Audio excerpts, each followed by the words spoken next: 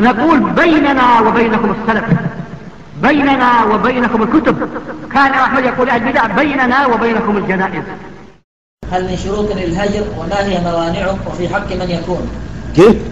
يقول هل من شروط للهجر وما هي موانعه وفي حق من يكون؟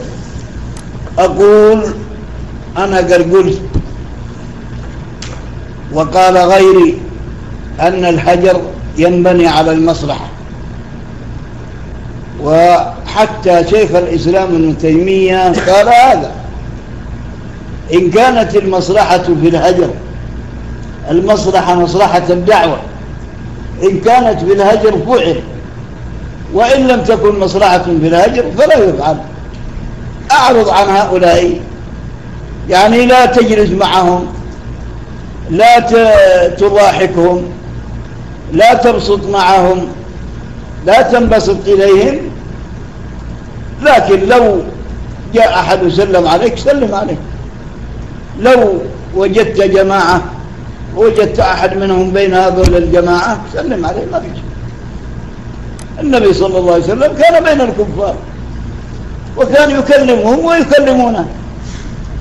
أليس قد جاء أن النبي صلى الله عليه وسلم بينما كان جالسا في المسجد أتاه الوليد بن المغيرة فقال له يا ابن أخي إنك أتيت قومك بشيء لم يأت به رجل قومه إنك سفهت أحلامهم وشتمت آباءهم وعبت آلهتهم.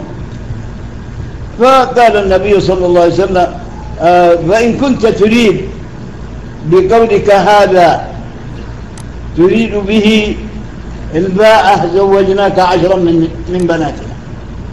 من أجمل بناتنا. وإن كنت تريد به مالا جمعنا لك من أموالنا حتى تكون أكثرنا مالا. وإن كنت تريد به جاها سودناك علينا حتى لا نقضى أمرا دونك. فقال له أكملت يا عم قال نعم. أو كما قال. فقال النبي صلى الله عليه وسلم اسمع مني.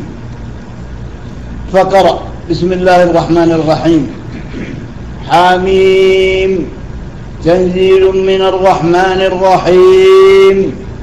كتاب فصلت آياته قرآنا عربيا لقوم يعلمون.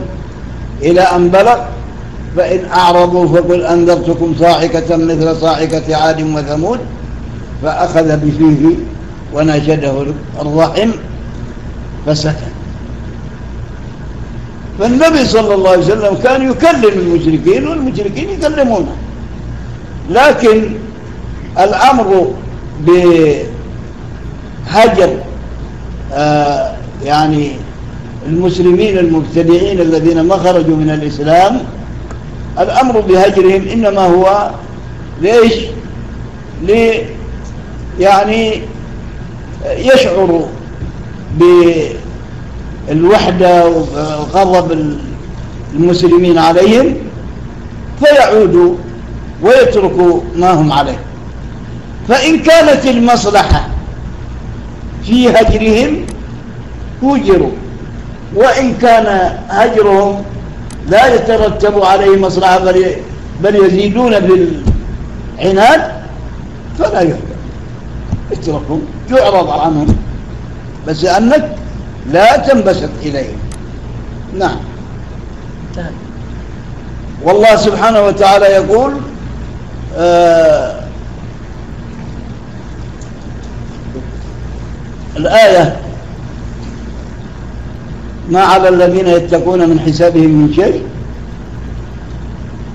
الآية. يعني من يحفظ الآية يا جماعة؟ ها؟ وما على الذين يتقون من حسابهم من حسابهم من شيء. أيوة. يعني أما إذا كان الإنسان عاملا بالشيء في نفسه عاملا به بالحق في نفسه خالفه أناس من أهل الباطل فإنه ما عليه منهم. هو يتقي الله في نفسه. نعم. ولا عليه من هؤلاء الفجرة. نعم. الشيخ هم يطبقون الهجر الآن على السلفيين. نعم. مبتدعا نعم. هم يطبقون الهجر على السلفيين. أقول الهجر كما قلت لك. هو الحقيقة أن بعض السلفيين يبالغون. يعني لو وجدوا من الواحد شيء قليل يأتون بأشياء ما ما ما ينبغي. نعم.